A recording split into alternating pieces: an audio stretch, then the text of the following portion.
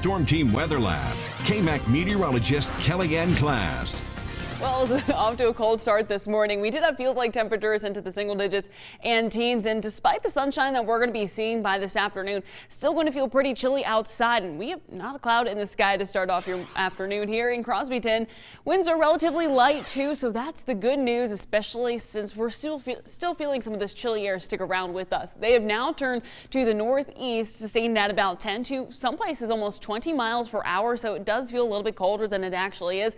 Here's the temperatures right now now what they feel like. 31 right now in Lubbock, 27 in Ann, 34 is what it feels like right now in Lamesa. So it's still cold to start off your afternoon. We're going to continue to see those chilly temperatures throughout the rest of the daytime hours today. We're talking about high temperatures only in the upper 40s and lower 50s and actually may feel a little bit colder by later on today with some of those wind speeds still sustained at about 15 to 20 miles per hour.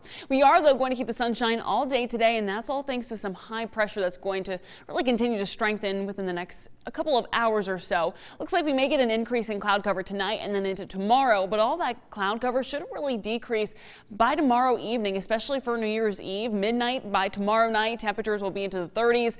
No issues there, but you're definitely going to want to break out some sort of glasses if you don't have any contacts because we're seeing 2020 by Wednesday. Temperatures will be into the 60s and this forecast certainly not seeing things correctly.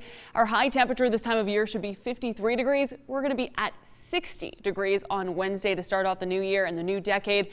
And we're also going to see sunshine around as well. Looks like things are going to change though by Thursday as we are expecting a little bit more of some wintry precipitation back into the mix, especially off in eastern New Mexico and around the state line. Early Thursday morning, maybe a few snow flurries and a wintry mix possible. It tries to move into West Texas and it may actually do so, but just depending on how warm that air really is, just depends on if we're going to see rain or snow.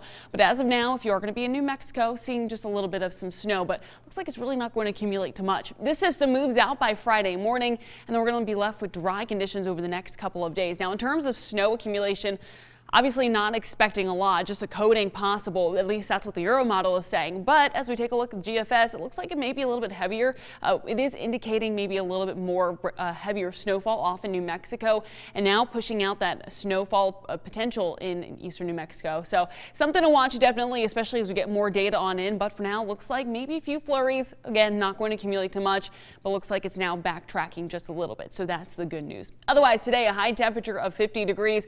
Uh, we actually will have winds pick up throughout the daytime um, hours today, keeping them very breezy at about 15 to 20 miles per hour.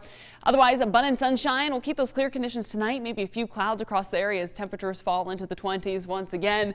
And over the next seven days, we stay relatively dry. 50 degrees by the end of the year, end of the decade. 60 degrees to start off the new year, but then we have about a 51 degree mark for Thursday as we are still watching that wintry precipitation potential. Still remaining into the 50s by Friday, back to the 60s on Saturday and Sunday. So this is still a roller coaster ride in temperatures. Really yeah. not good for the immune system if you're uh, someone like Matt who gets sick pretty easily. I don't know if you could hear it in his voice. Stock up on the vitamin C, wash your hands, go to the doctor, Everything will be all right if you just take it easy. Get enough sleep, too. Matt's not doing that. Hey, I'm a victim of it. I apologize because I am a victim of it. This throat is all over the place, but I will take that notion for sure. Yeah, don't forget to wash your hands. That's the most important thing. And some sleep. Okay, yeah. I will. We'll be I back here tomorrow morning. Yeah. Thanks, Gilliam.